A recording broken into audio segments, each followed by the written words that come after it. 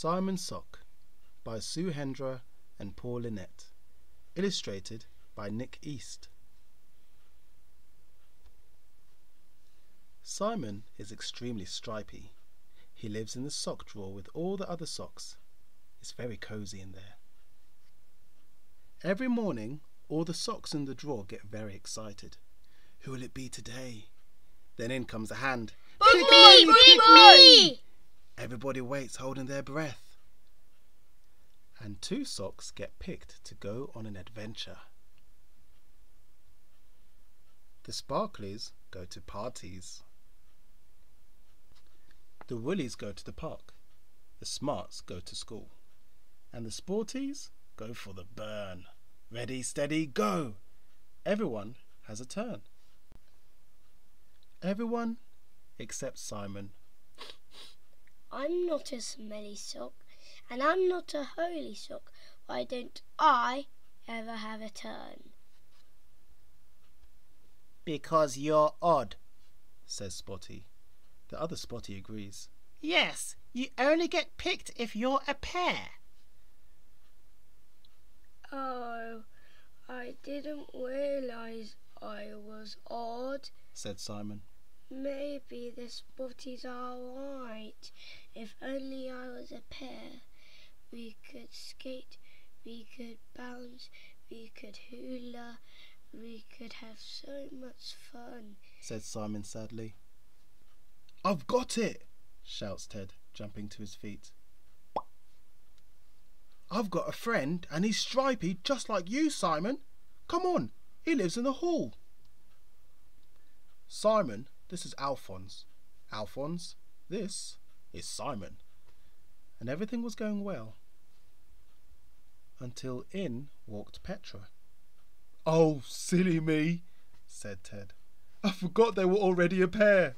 Don't worry though, Simon. I have another stripy friend. Simon, meet Shirley, said Ted hopefully.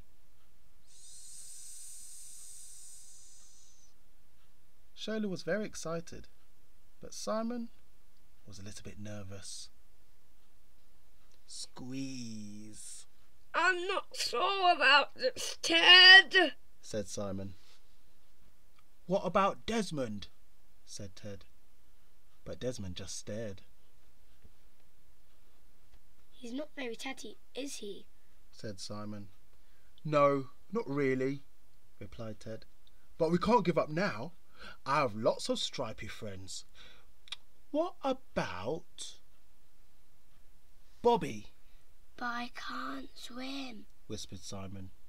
Deborah, the stripy bug. She's very tiny, Ted. I might step on her.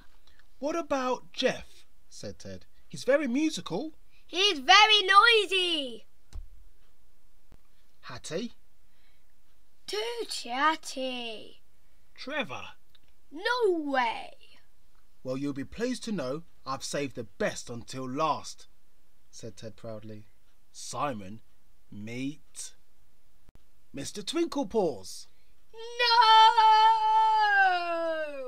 Meow! Eek! Simon had had enough. It's no good, Ted. I just need to get used to being an odd sock, he said sadly. But then he heard a voice. It was coming from under the drawers. Hello. Simon couldn't believe it. I found you, he cried. We're a pair. We can skate, we can bounce, we can hula. Come on, said Simon. Let's go out and play. But Simone had other ideas. Oh, I like going out, said a voice. Betty gave Simon a wave. Simon waved back. I like playing, said Betty. So they skated, and they bounced, and they hula hooped. Everyone had to admit that even though they didn't match, they really did make a great pair. Don't forget to subscribe for more videos just like this.